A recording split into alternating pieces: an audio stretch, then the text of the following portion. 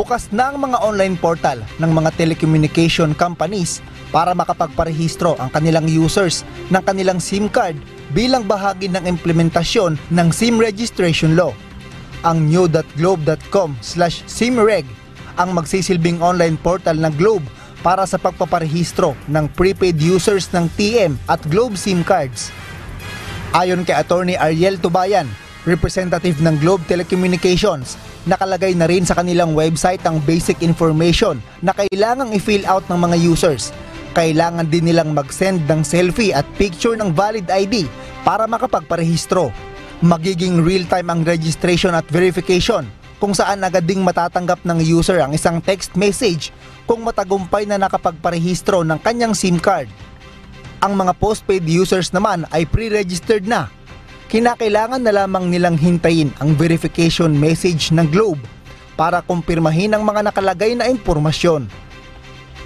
Yun namang uh, postpaid naman, uh, confirmation na lang po ng and updating of their information. Kung sakasakali man, kasi baka nagbago na, nag-change of, of address, baka nag-asawa. So kailangan i-update po yun. And then bigyan notification. Samantala, mayroong ding website na nakahanda ang Smart Communications para makapagparehistro ang mga smart at TNT users. Kailangan nilang bisitahin ang smart.com.ph slash simreg. Ang Dito Telecommunity naman, sa Dito app kailangan magparehistro ang mga existing subscribers habang sa SMS link naman ang mga new subscribers. Ayon kay Attorney Adel Tamano, ang corporate secretary ng Dito, kailangan ding mayroong ding hihinging selfie at picture ng valid ID o iba pang dokumento para mairehistro ang prepaid SIM ng kanilang subscribers. So there's no danger on the part of dito na makakuha kayo ng text message that will ask you to register na hindi po galing sa amin. Yun, yun ang first, uh, first assurance na gusto namin ibigay sa publiko. Mayroong 180 days na ilalaan para sa SIM registration. Ayon sa Department of Information and Communication Technology o DICT, magsasagawa naman sila ng cross-certification ilang buwan matapos ilunsad ang simula ng registration ng SIM card.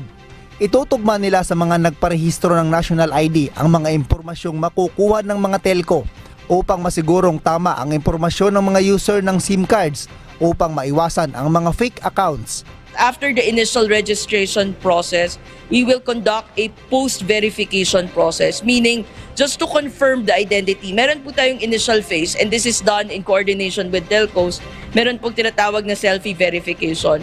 That's why we require yung mga IDs na dapat mag-match yung selfies nila doon sa uh, sa picture nila po doon sa ID. San ang mga fake accounts? Ayon naman sa Department of Interior and Local Government, pinagpaplanuhan nila ang pagpapatayo ng mga SIM registration facilities lalo na sa mga remote areas kung saan walang mga internet access ang mga SIM user.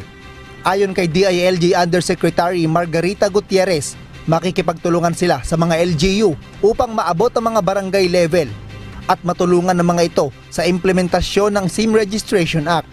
Kasi sila po yung may mga kilala ho sa mga constituents natin, mas, mas mabilis po yung information dissemination po. Since kakilala naman ho nila yung mga tao sa barangay level. Paalala naman ng National Telecommunications Commission o NTC sa publiko na tiyaking tama ang mga website na kanilang pupuntahan upang magparehistro dahil baka mayroong kumalat na mga phishing site kasabay ng paglulunsad ng SIM registration. Diyos ang aming sandigan serbisyo publiko ang aming pinahahalagahan. MJ Vasquez, humahataw